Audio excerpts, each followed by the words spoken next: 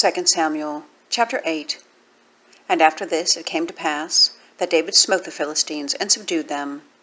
And David took Methegammah out of the hand of the Philistines. And he smote Moab and measured them with a line, casting them down to the ground. Even with two lines measured he to put to death, and with one full line to keep alive. And so the Moabites became David's servants and brought gifts.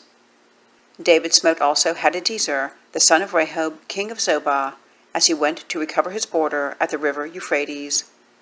And David took from him a thousand chariots, and seven hundred horsemen, and twenty thousand footmen.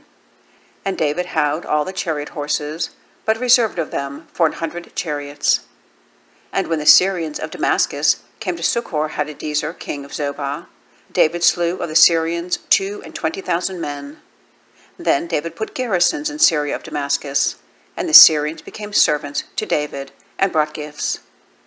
And the Lord preserved David whithersoever he went. And David took the shields of gold that were on the servants of Hadadezer, and brought them to Jerusalem. And from Betah and from Berothai, cities of Hadadezer, King David took exceeding much brass. When Toi, king of Hamath, heard that David had smitten all the host of Hadadezer, then Toi sent Joram his son unto King David, to salute him and to bless him, because he had fought against Hadadezer and smitten him, for Hadadezer had wars with Toi.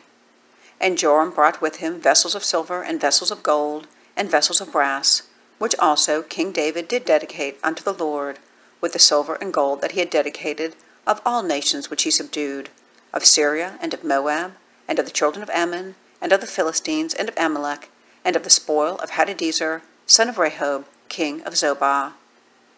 And David gat him a name when he returned from smiting the Syrians in the valley of Salt, being eighteen thousand men. And he put garrisons in Edom, throughout all Edom put he garrisons, and all they of Edom became David's servants. And the Lord preserved David whithersoever he went. And David reigned over all Israel. And David executed judgment and justice unto all his people. And Joab the son of Zeruiah was over the host, and Jehoshaphat the son of Ahilud was recorder, and Zadok the son of Ahitub, and Ahimelech the son of Abiathar were the priests, and Seraiah was the scribe, and Benaiah the son of Jehoiada was over the Cherethites and the Pelethites, and David's sons were chief rulers.